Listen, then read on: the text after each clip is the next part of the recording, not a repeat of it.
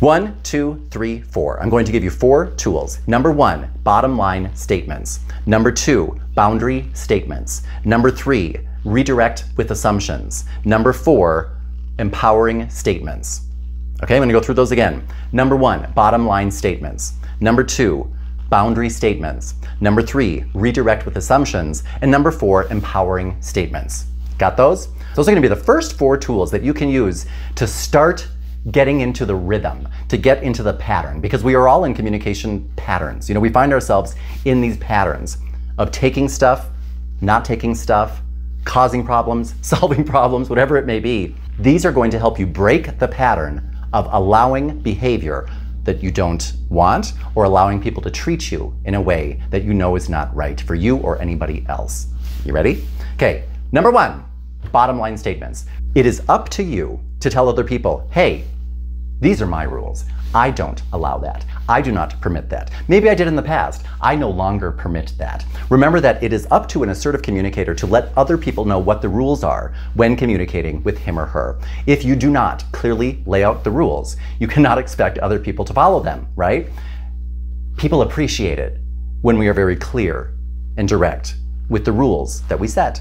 And if someone chooses, because of your rules, if they choose, if they decide that they're too stringent or whatever, and they choose not to communicate with you anymore, that is okay.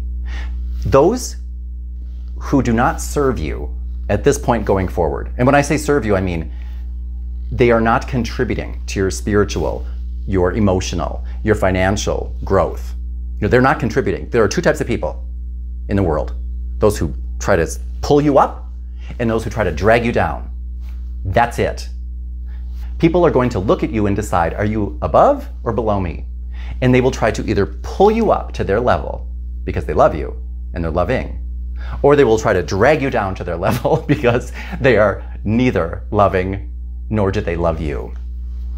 So those people who stop communicating with you because these rules are just too stringent, that's okay. They will naturally fall away because they will no longer serve you. You have worked through the lesson that they were here to teach you. That's okay. They have other lessons, you have other lessons. And you will bring with you those who are encouraging you and trying to bring you up or push you up because they love you. Other people who fall away, it's because it's their time. That's okay. Here's a bottom line statement. There are two parts to it. Number one, you want to backtrack. What that means is, in communication lingo, when you backtrack, I am repeating back to you what you just said, as close to word for word as I possibly can. Then I'm going to tell you what rule you just broke. Okay, that is a bottom line statement. Bottom line, you just broke a rule, gong, gong, gong. I'm stopping this right where we are because you need to be told. You're getting a communication citation, okay? So, if I were talking with John, you know, and I've already gone over with him what my new rules are of engagement, and John starts yelling and screaming and, you know, calls me a name, I can say, John, John. By the way, remember to interrupt people if they're on a tear. Keep using their name over and over again. John, John, John, John, John, John. Because when you keep using someone's name over and over again, even if it's your name and you know that I'm trying to interrupt you, we can't help but go, What? Once they do that, John, John, John, John, John, you just called me a liar. And I don't name call you, nor do I allow myself to be name called. That's the bottom line. Here's what you just said, here's what I don't allow. Or it could be that you just told my child to shut up and sit down. John, John, John, you just said to Eamon, shut up and sit down. I don't allow anyone but myself or my spouse to discipline my children. Get bottom line, clear, clear, clear as can be. I just said what you did, and I told you what rule you were breaking. Now we're gonna move on to number two. I'm gonna give you a boundary statement. And a boundary statement has two different parts. Number one, I'm going to tell you, I want to give you what you want. You know, if we're discussing something, if we're arguing a point, if we are trying to find a solution, whatever the conversation is that you want here, I'm going to tell you, you're going to get that. But I have to remind you, you crossed a boundary, and I'm going to tell you what it is. So as I mentioned, there are two parts to a boundary statement. Number one is, I do want to, and number two is, but not like this. So repeat that after me. Number one, I do want to. Say that. I do want to. Say it again. I do want to. One more time. I do want to. All right. Now say, but not like this. Okay? Say that again. But not like this. Repeat that. But not like this. Now, don't underestimate how important it is to repeat these things out loud with me here at home in the mirror, as you're driving down the street, whenever, repeat them. Because it's just like any other foreign language. If assertive communication is a foreign language to your mouth, you're going to stumble over it when it comes time to use it. You know, when people first learn a language, they have a thick accent. And when people first start speaking English, sometimes we can't even understand them. That's what happens when we first start speaking this new language, because it is a different language, and we haven't practiced it. It comes out as if it's a foreign language and people can't hear us through our accent because we're stumbling over each word. So practice saying things such as, John, I do want to discuss this with you and find a solution, but not if you're going to name call. John, I do want to hear everything that you have to say, but not in this manner. John, I do want you to enjoy yourself when you come over to my home and feel comfortable, but not if it means you're going to be disciplining my children. You know, you want to tell people, I want this for you. It's the same thing that you want. But remember that rule I just told you you broke? You're not going to get it if you keep breaking it. Now we're going to go on to number three, a redirect with assumptions.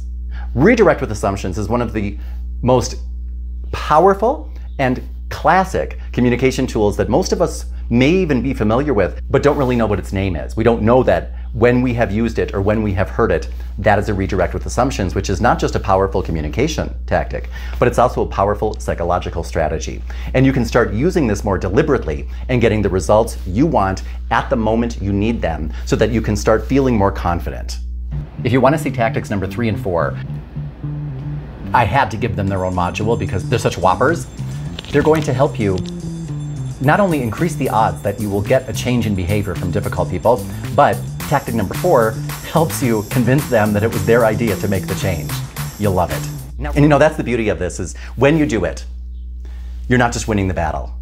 You realize, wow, I get it now. I'm really doing them a favor by showing them not just how to communicate with me, but showing them what it looks like to love myself so much that I'm making this change at this point in my life. That's a powerful thing. You start changing not just that person, but the whole wide world with what you're doing. Because you're not winning battles, you're illuminating the battlefield, you're transforming it, you're changing it into something else. You know what I mean?